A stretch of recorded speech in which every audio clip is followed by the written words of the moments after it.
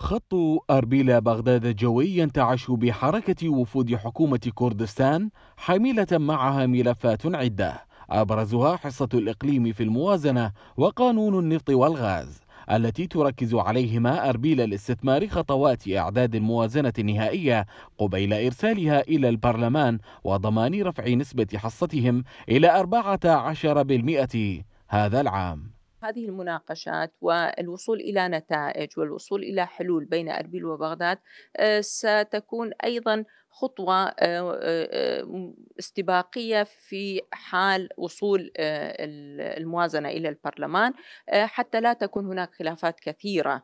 عادة الفقرات التي تأتي من الحكومة يعني يتم اعتبارها يتم يعني التركيز عليها.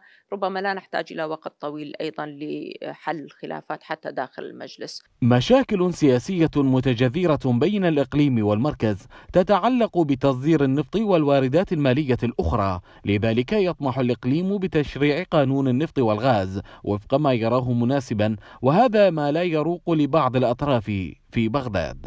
هذه الخلافات ربما سوف يتم تذويبها من خلال اتفاقيات ثنائية مع بعض الشخصيات الكبيرة السياسية هنا وهنا.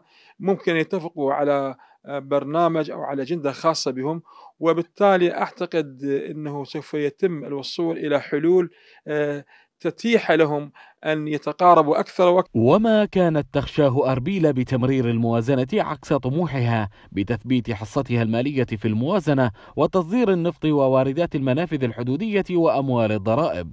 لن يؤثر مجددا هذه المرة فالأطراف السياسية تلتزم معها بمواثيق واتفاقات سبقت تشكيل حكومة السوداني. وإذا ما أخلفت بوعودها تلك الأطراف فلن يتبقى لأربيل سوى التصعيد السياسي وهذا ما تتجنبه بغداد. فقد يفرط عقد الحكومة الحالية ويحدث إرباكا في المشهد السياسي. من بغداد جابر جمال الرشيد.